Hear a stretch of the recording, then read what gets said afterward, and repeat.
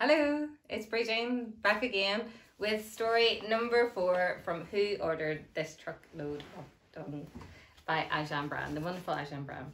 So tonight's story is um, Two Bad Bricks. It's a really wonderful story. It's the first story in the book and it was highlighted to me um, maybe about 10 years ago by a young man who came to the class.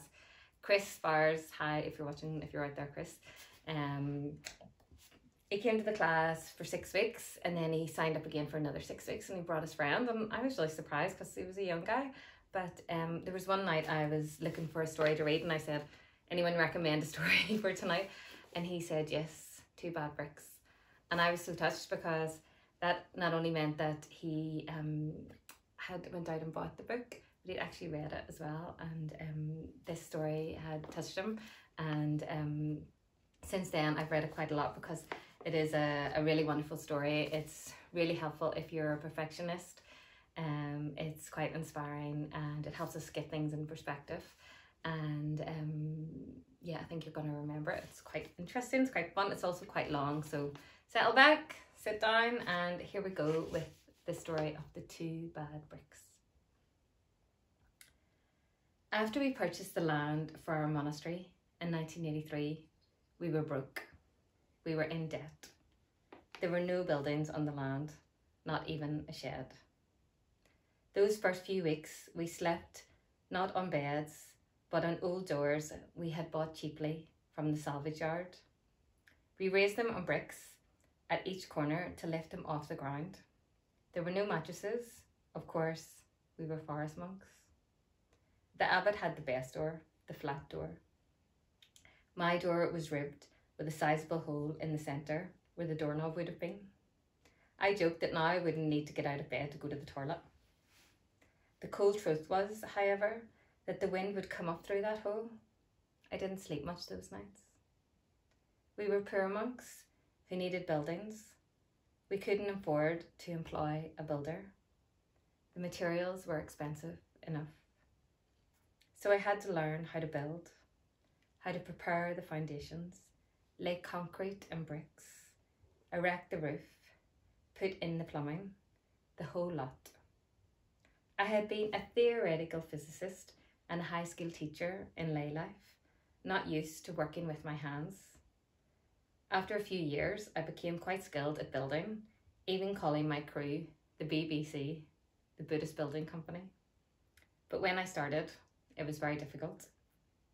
It may look easy to lay a brick, a dollop of mortar underneath, a little tap here, a little tap there.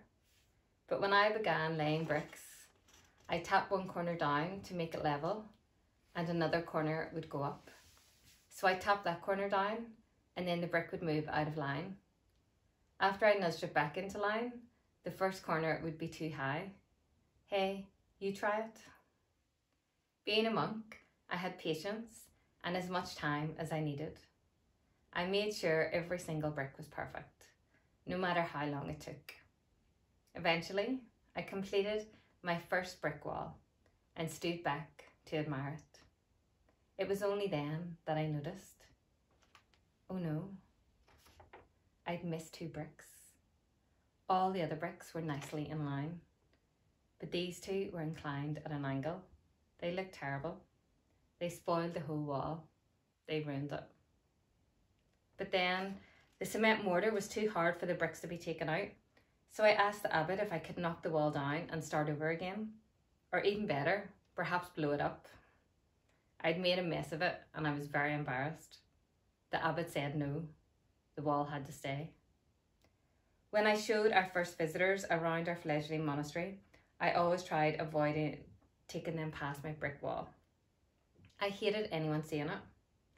Then one day, some three or four months after I finished it, I was walking with a visitor and he saw the wall.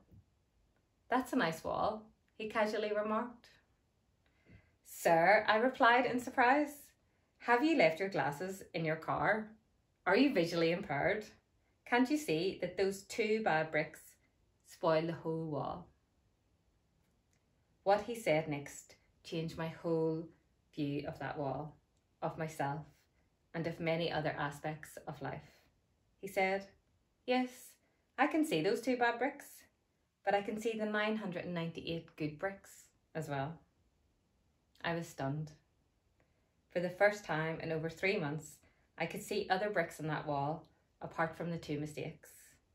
Above, below, to the left and to the right of the bad bricks were good bricks, perfect bricks. Moreover, the perfect bricks were many, many more than the two bad bricks.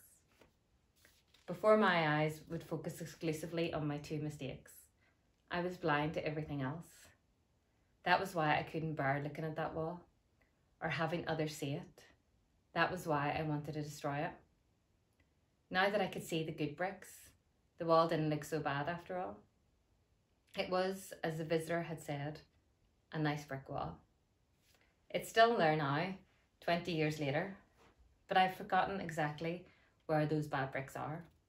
I literally cannot see those mistakes anymore. How many people end a relationship or get divorced because all they can see in their partner are two bad bricks? How many of us become depressed or even contemplate suicide because all we can see in ourselves are two bad bricks? In truth, there are many, many more good bricks, perfect bricks, above, below, and to the left and to the right of the faults. But at times, we just can't see them. Instead, every time we look, our eyes focus exclusively on the mistakes. The mistakes are all we see. They're all we think there are. And so we want to destroy them. And sometimes, sadly, we do destroy a very nice wall. We've all got our two bad bricks, but the perfect bricks in each one of us are much, much more than the mistakes. Once we see this, things aren't so bad. Not only can we live in peace with ourselves, inclusive of our faults, but we can also enjoy living with a partner. This is bad news for divorce lawyers, but good news for you. I've told this anecdote many times. After one occasion, a builder came up to me and told me a professional secret. We builders always make mistakes, he said, but we tell our clients that it is an original feature. With no other house in the neighbourhood like it, then we charge them a couple of thousand dollars extra. So the unique features in your house probably started out as mistakes in the same way that you might take to be mistakes in yourself. What you might take to be mistakes in yourself, in your partner, or in life in general can become unique features, enriching your time here once you stop focusing on them exclusively. Thank you. And thank you to my husband for filming. Thanks for hating. See you all tomorrow. Cheers.